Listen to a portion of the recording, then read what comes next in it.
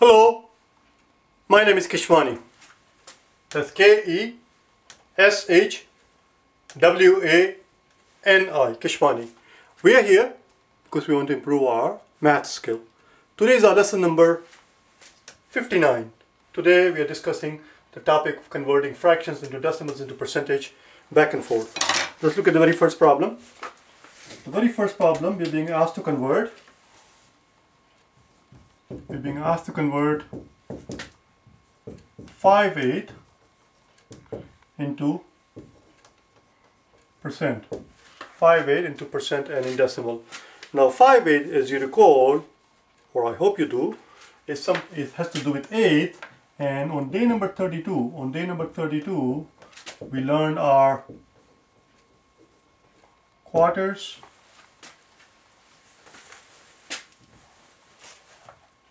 our quarters and our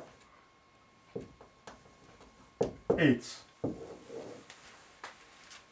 Learning, learning the eighths, knowing your eighths in their equivalent decimals and percentages is no different than knowing your quarters. Eighths are derived from the quarters. For example, here we have 5 eighths. Here we have 5 eighths, which we know is same as 4 eighths plus an eighth. A 4 8 is simply a half, which is simply 50%. So that part was easy. The question is, how much is an eighth? An eighth, an eighth, we know, is simply a half of a quarter. An eighth is simply a half of a quarter. If we know what quarter is in percentage, finding the eighth is no big deal. We just take a half of that. So we know we know a quarter is simply 25%. And if we take a half of that, that's going to be our eighth. What is, what is half of 25%? Well, we know half of 24%. Half of 24% is 12%. 12 times 2 is 24. We don't have 24, we have 25, and therefore the, the remaining one there, if you can break it into two halves, we're going to end up with 12.5%. An eighth is simply 12.5%. What I'm trying to make you understand is that don't memorize the bloody thing. Make the connection. Make the connection between the quarter and the eighths. Everybody knows that the one quarter is simply 25%. Well, if one quarter is 25%, you should be able to see right away that one eighth is simply half of a quarter. And therefore, an eighth should be half of 25%. Half of 24% is 12%. Therefore, half of 25% should be simply 12.5%. That's what we have to add here. We already have 4, we already have 4 8. 4 8 is 50% because 4 8 is simply half plus an 8 which we just learned is 12.5%. So it's 50 plus 12.5%, we end up with 62.5%. 62.5% and that's our 5 8. 5 8 is simply 62.5% which if they ask us to express in decimal it's going to be 0.625 0.625 because a half is 0.5 percent uh, 0.5 0.5 and 0.125 0.5 and 125 that's it that's what that was it. Convert question was to convert 5 8 into its equivalent decimal and in percentage we have done so. Let's let's move on to the next one. Next one is a very simple question a very, sim a very simple question, a very silly question. The next question is to convert 3 tenth into percentage and decimal. Into percentage and decimal. Well, that's very silly, as I said. 3 tenth is simply 0.3, 0.3 or 30%. So that was, a, that was an easy one. We got lucky there. Let's do the next one, shall we? Let's do the next one. Next question is asking us to convert convert 55% into fraction. Convert 55% into fractions. Now whenever they're asking you to convert a, a, percentage into a fraction or a decimal into a fraction, listen very carefully whenever the problem, whenever the question asks you whether you're preparing for ACT or SAT or TEAS or GMAT or GRE, these questions appear in these exams. Uh, whenever they ask you to convert a percentage into either a decimal, or decimal actually wouldn't, wouldn't matter what I'm about to say, into a fraction, always remember that they're looking for the most simplest fraction that you can find. A fraction in its most simplest form, in its most reduced form. That's the only way you're going to be able to, that's the only way you're going to be able to match your answer against one of the answer choices that they give you. If you don't reduce your fraction, none of the answer choices will match. Do you understand? For example here, 55%, we know 55%, percent means, percent simply means 55 over 100. But no answer choices will be in this form. We have to reduce it. 55 is a multiple of 5, 100 is a multiple of 5, so let's divide top and bottom by 5. If we divide top and bottom by 5, 5 has 1 5, another 5 has 1 5, so it's 11 over 10 has two fives and 0 has no fives. So it's 11 over 20. The question was convert 55% into fraction. The answer is 55% converted into most reduced fraction is 11 over 20. Let's do next one, shall we? Let's do next one. I'm going to put it on the blackboard so that you can pause the video and work on it while I'm taking care of my tea. 237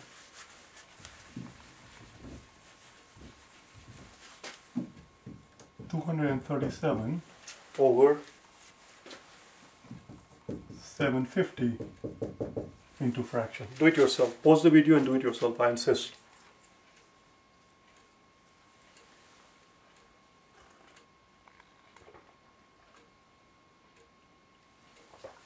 Well, let's see what we can do. Let's see what we can do. I'm going to erase all of this thing. We don't need any of this anymore.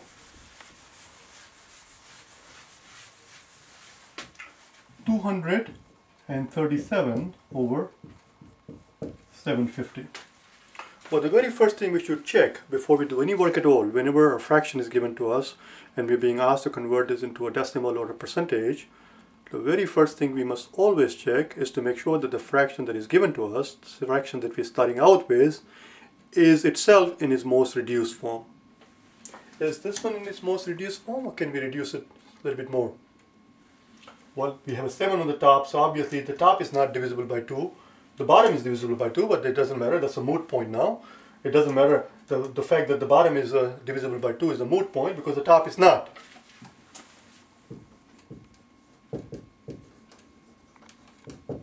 We'll, we'll come to this in a second.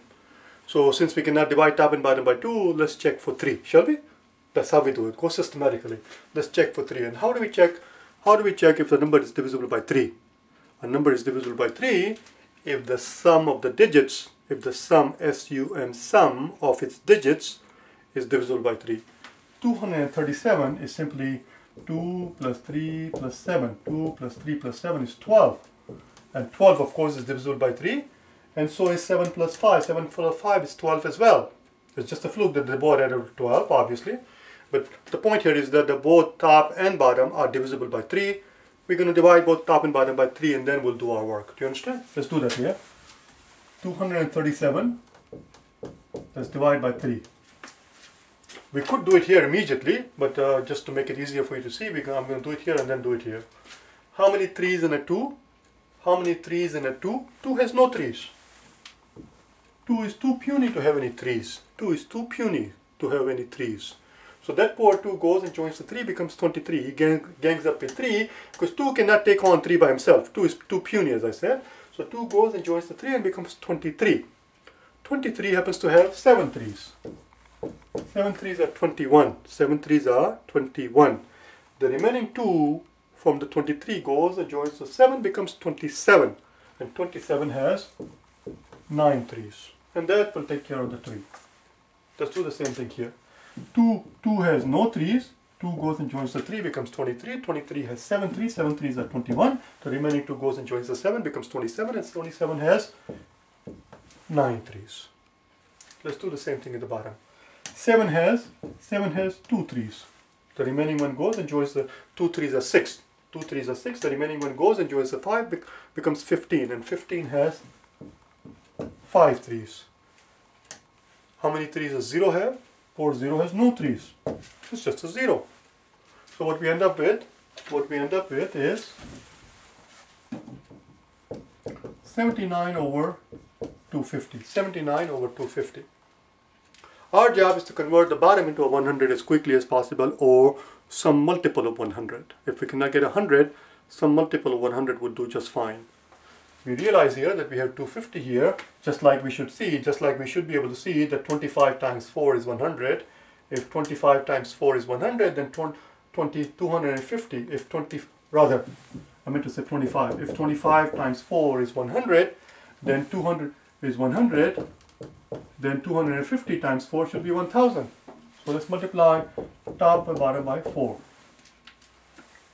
And we end up with in the bottom 250 times 4 which is 1000 and on the top we end up with 79 times 4. Let's do it here 79 times 4. We don't actually have to do it out here 79 times 4. We really don't shouldn't have to do it out because we should realize that we know we, we should know your tables which is why I made a very big fuss in the beginning of the series this is our day 59 if you have watched the earlier series you will use some people might be sitting there laughing at this guy teaching you how to multiply twos and how to multiply threes. There was a reason for it. You must know your timetables by heart. You must know your timetables 1 through 12 by heart. It's very important. And if you did know your timetables you would know that 8 fours are 32 would you agree? Would you agree that 8 fours are 32 well, if 8 fours are 32, then you should also be able to see that 84s are 320. If you have 84s, that's 320. We do not have 84s, we only have 79 fours. A 79 four is going to be 4 less than 3, 320. A 79 four is going to be 4 less than 320. It must be 316. Let's see what we can do here. 9 fours are 36. 6 carry 3. 7 fours are 28, 7 fours are 28, 28 plus 3 is 31, 316, what do you know? Exactly 4 less than 320 is exactly 4 less than 320 because we do not have 84s, we only have 79 fours. 79 fours has got to be 4 less than 84s. Makes perfect sense. Anyway, it's 316. 316 divided by 1000 is simply, had it been 360 divided by 100, we would have moved the decimal places two spots. Here's our decimal right now. Had it been divided by 100, we moved we would have two spots. Since we are dividing it by 1000, we have to move it three spots. Ends up here. So you end up with 0.316. 0.316 is the final answer. And if you want that in percentage, this is the fraction form. If they want, if you want, if you want that in percentage, then the same answer in percentage would simply be 31.6%. In fraction it is 0.316. 31.6%. Let's do the next one, shall we? Let's do the next one. So that was 237 divided by 750.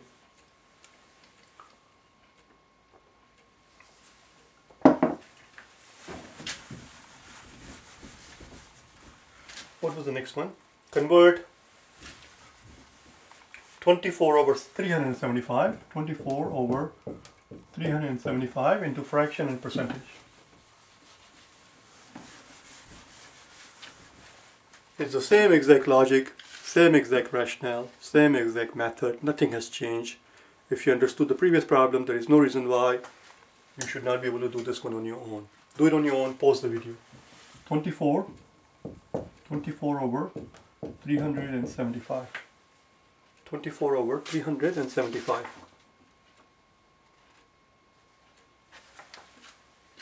The very first thing we notice is that 2 plus 4 is 6, 24 is divisible by 3, and 375 is simply 3 plus 7 plus 5. But we don't have to worry about 3. 3 of course is divisible by 3, and 7 plus 5 is 12, and 12 is divisible by 3, which means 375 is in fact divisible by 3. We can divide both top and bottom by 3. Let's do that. But 24 has 8 3, that was easy. 20, 24 has 8 3. What about 375? Let's divide it by 3. How many 3's does 3 have? How many 3's does 3 have? 3 has 1 3. How many 3's does 7 have? 7 has 2 3's. 7 has 2 3's, the remaining one goes and joins the 5 becomes 15 and 15 has 5 3's. So 3 has 1 3, 7 has 2 3's, the remaining one goes towards the 5 becomes 15, 15 has 5 threes. So we end up with 800 and 100, 8, 8, 8 over 125. 8 over 125. We should be able to see right away now that 125, I hope you should, I, I should say we should, we, we cannot obviously convert this into, well, I wonder if we, if we try to do 100. Let's do it two methods. I'm, I'm going to I'm gonna go on a limb here, we're going to do two methods here. I'm going to do two methods here. 8 over 125, I don't know where it's going to take us. I don't know where we're going to take it, let's see what happens. Multiply top and bottom by 100. Divide top and bottom by 25, this is going to become 5 and this is going to become 4. Okay, stay with me in the story. It's very important that you stay with me in the story. 8 over 5, 8 over 5 is simply 8 over 8, 8 over 5. That's is 8 over 5. 8 over 5 can be written as 5 over 5 plus 3 over 5 times 4 over 100 which is 0.04. 5 over 5 is 1 and 3 over 5 is 0.6 so it is 1.6 1.6 times 0.04. Oh, what do you know? That was one way. Another way is this. Another way we could have done it is take 100, 8 over 125 and multiply top and bottom by 8. But you have to be able to, but you have to be able to see that 8 times 125 is exactly 1000.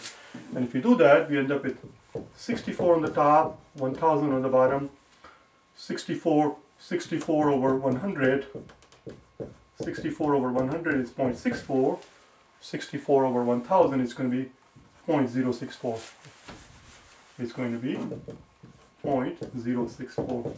Let's see what this gives us. 16 times 0.04. Let's do it here. This is this thing is not 16 rather 1.6 times 0.04. 1.6 times 0.04. Let's see what this gives us. 16 times 4 is 64. 16 times 4 is 64. The decimal is right here. This one has one decimal place, 1, and this one has two decimal places, 1 and 2 which means we need to move this decimal places three spots. One, two, and three. It comes here, and we get a zero.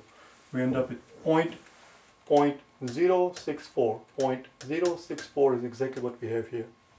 So whether you go this route, whether you go through this method or that method, of course it will take you to the same destination because the oh, math is math. It doesn't. The answer does not change depending on your depending on your method. So the bottom line is 24 divided by 375. 24 divided by 375 is 0.064 or 6.4%. If they were asking you in the percentage, then that's just going to be the answer choice. I'll see you tomorrow, okay? Bye now.